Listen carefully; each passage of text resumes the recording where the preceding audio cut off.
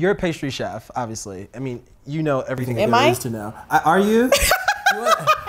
do you want to do you want to vet that? Are you or nah? yeah, I'm joking. I thought I'd do a shortbread shortcake. I love uh, it. Strawberry shortcake, very classic. My favorite desserts are the ones with fruits. Wow. Always. I was actually going to make you something with chocolate. I love chocolate too, but I think the fruit just makes every dessert perfect. So this is the actual shortbread. Okay. And um, I made them this morning for you. Beautiful, Very easy, very crumbly. Yeah, it's one of those recipes that like when you put all the dough together, it just starts crumbling in your hand. I use a Love the smell combo. of butter. Oh yeah, it's a combo of butter and shortening. Awesome. So it's gonna make it really flaky. So now we're just gonna fill it. I think we can assemble it any way we want. There's some cut up strawberries here. Okay. And I saw you made this beautiful. Do you call it a syrup or just like a It's, sauce? yeah, it's just like cooked down strawberries. I probably can only fit two here, but I'm, I'm gonna give myself a little bit more. I'm gonna do sauce. We're gonna do sauce first. Yeah, cause I oh I'm gonna hydrate. Oh, see, yours looks better already. I'm a genius. Nice way to show off. Look, look, mine's all over. Looks like shit. Look at that. Look at Because that. I cut them too big. that was totally my fault here. Okay. But it's just so strawberries with a little bit of water, Okay. and I use some honey. I actually use like an orange blossom honey. Nice. Uh, it's infused with orange blossom. Tiny bit of salt. Anything sweet, I always put a little bit of salt. And I think that's it. I like your style. Simple and delicious. Simple. Oh, thank you. I love your style. All right, can I put a big dollop of this cream A here? big dollop. Can I? Yes, you may. Cool. Oh, I also put some orange and lemon zest inside of the strawberry syrup. Let's put some more zest on top. Let's do some zest. I'll do some orange. Nice. I like that. That's good. How did you make the dough? So I actually did it by hand. You could do it in a food processor. Okay. But it's flour, uh, baking powder, salt, sugar. Okay. Mix that together. And then I added the butter, shortening, heavy cream. Okay. Oh, yes. And then just mix it up. It, it's very mealy when you mix it up. It's not quite like a biscuit. A biscuit is a little bit more firm. It comes together. This is a little bit more crumbly. But what you get are those nice flaky layers. So it's very similar to a biscuit, but it's not quite a biscuit. Cool. And then you bake it at high heat, 425 degrees Fahrenheit. Should Yeah. we eat it or should we? We Oh, some mint, maybe just just a sprig or mm. two. Okay. Make it look pretty, fancy. It looks like I went to pastry school like you. oh, and one last touch. Wow. How many last time? I'm You not used like, to it. I like to be fancy a little bit, a little fancy, fancy. Okay. So we can do some powdered sugar. Let's do it. By the way, I love all your props. They're so cool. Thank you. That's where I spend all my money. So Really? if one day I come to your house and say I am homeless, it's because I spend my house on props. On your props. I Right. use them. You do. Like dinner parties, uh, like you're here and we're using a lot of them. I, I enjoy them. I've been to your parties. You have the best parties. you honestly have the best parties. Ah. They're so lit. I enjoy it. I enjoy making parties. Okay, it looks awesome. I want to say yours look better than mine, but you know, No, that's saying. not true. I think they look equally beautiful and They're let's dig into it. There's All like no right way to eat this, but I'm gonna go for it like a, a big bite. That's your big bite? That looks very sophisticated to me. A big bite's like this. No, I was trying to be cute. That wasn't pretty. Okay, I'll do it. Mm.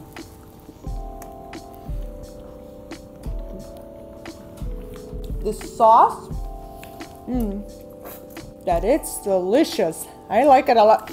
Listen, Yeah. do you trust the, all those chefs that don't eat their food after they're done cooking it? Come on, what's wrong with that? This is so good. You think people don't want to be seen like like this, like we are right now? That's the problem. I feel very messy.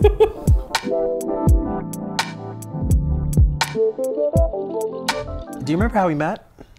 I do. remember? It So- was really cute. You saw me on the streets. I was filming. You were filming.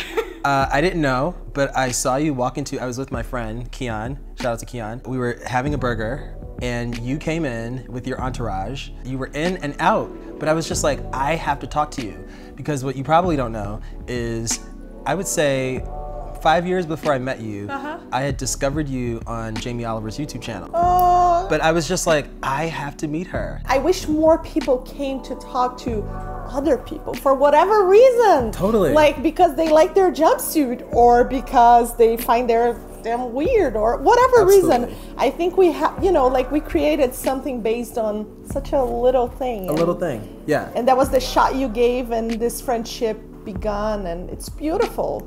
Thank you. It is beautiful. Well, you were so gracious. You were also so gracious and kind. You were like, "Yeah, take my number," and I was like, "You girl, you don't even know who I am." And you're like, "Take my number, yeah, let's I hang know. out."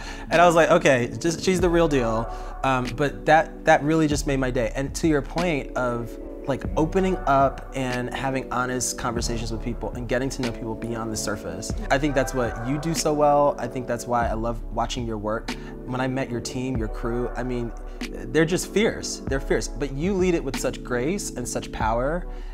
How do you do that? There's a motto that I always say. Oh, I none, love mottos. None of your ideas are stupid. None of them. None. you know, like we doubt ourselves a lot, especially now where we are in contact with so much content online. Like sometimes you think about doing a photo shoot with your fluorescent shirt, and then sure. you're like, but wait, that girl in Switzerland did that and she did it so well, so I'm not gonna do as good as hers. And, uh, you know, and then you go in this you never trust yourself for mm. doing what you believe because you think somebody else did something like that and maybe you're not do as good and we start to create these patterns mm-hmm. where we only do the things that we think people are gonna like or expect of us or expect of us yes. because that's the world we know so we try to compare with others and be like but if i do this will will i be stupid or will i appear trendy i don't know we put these ideas and then we never actually turn ideas into reality.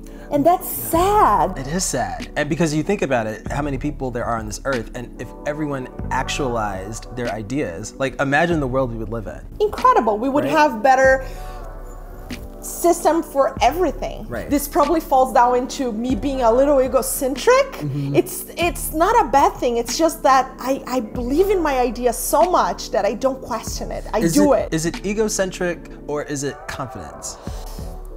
You know, there's always a little bit of ego in your confidence. I mean, people don't want to say that because that sounds really like that sounds like a, that sounds like an asshole. An asshole, but it is yeah. true. And you think uh, you want to move forward with your ideas and transform an idea that's in your head into raw reality. In my case, it's storytelling. I love creating videos.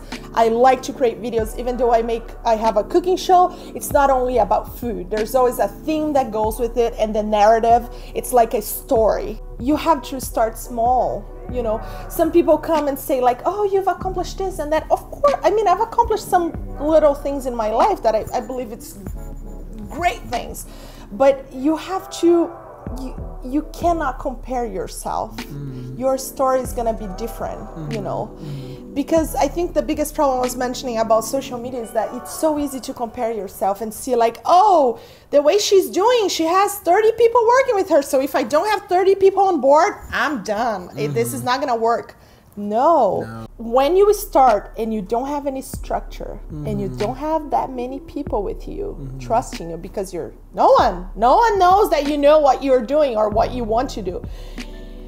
That's when you're going to create the most amazing work that you can possibly create from your heart mm-hmm. because you have these boundaries where you don't have the greatest equipment, but you have ideas.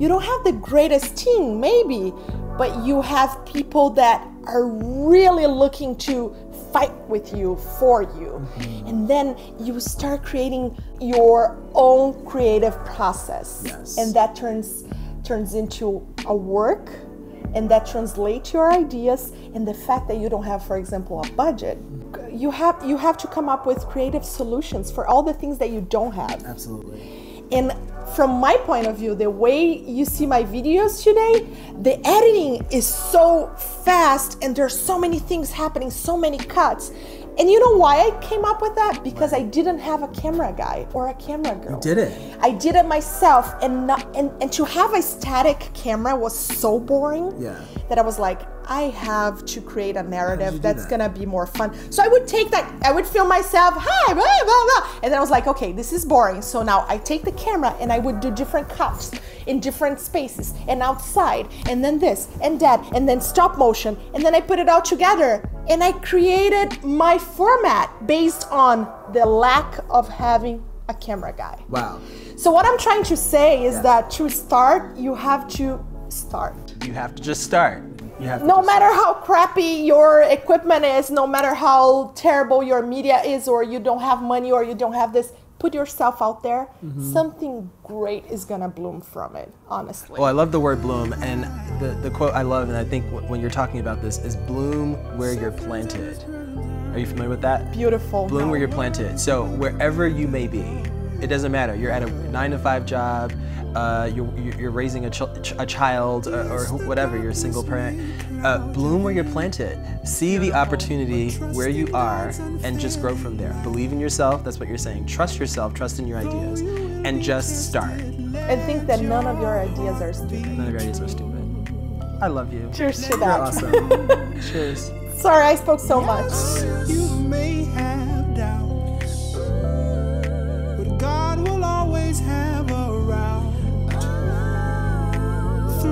tribulations let